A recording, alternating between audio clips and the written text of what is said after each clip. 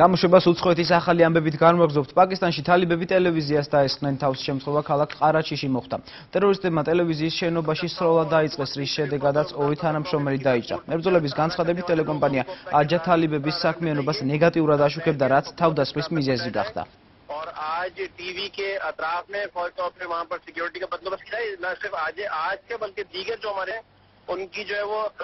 ერახში ტერორისტების სამიზნე ფეხბურთელები გახდნენ ბაღდადში საფეხბურთო მატჩის დროს სპორტულ მოედანთან ავტომობილის აფეთქებას 9 ადამიანი ემსხვერპლა დაღუპულთა შორის ფეხბურთელები და გულშემატკივრები არიან. რამდენიმე აფეთქება მოხდა სუნიტების დასახლებულ ქალაქებშიც.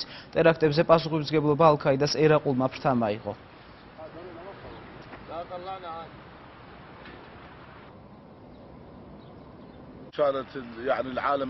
თამაშზე ძალიან ბევრი ადამიანი მოვიდა სტადიონზე პოლიციაც იყო მაგრამ ხალხი მოედანზე შემოწმების გარეშე შეუშვეს.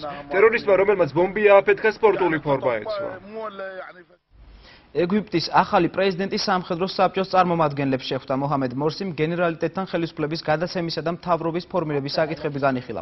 საკანონმდებლო ძალაუფლება ამ დრომდე სამხედრო საბჭოს ხელში რჩება საბჭოს მეთაურმა ახლად არჩეულ პრეზიდენტს მხარდაჭერა აღუთქვა.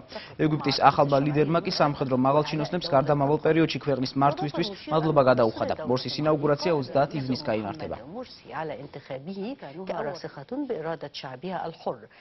კვიპროსი ევროკავშირს ფინანსურ დახმარებას თხოვს ნიქოზია სიდიდით მეორე ბანკის რეკაპიტალიზაციისთვის 30 ივნისამდე მილიარდ 800 მილიონი ევრო სჭირდება. თუმცა ზუსტად რამოცულობის თანხას თხოვს კვიპროსი უცნობია.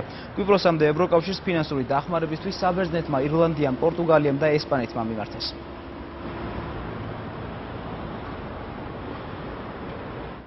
იულია ტიმოშენკოს ადვოკატი უკრაინის პრეზიდენტის წინააღმდეგ საქმის აღძრას ითხოვს. სერგეი ვლასენკოს განცხადებით იანუკოვიჩისა და უკრაინის მთავრობასთან დაკავშირებული ანტიკორუფციული გამოძიება უნდა დაიწყოს ექსპრემიერის 300-მდე მხარდამჭერი უზენაეს სასამართლოსთან შეიკრიბა მომიტინგები ტიმოშენკოს გათავისუფლებას ითხოვენ.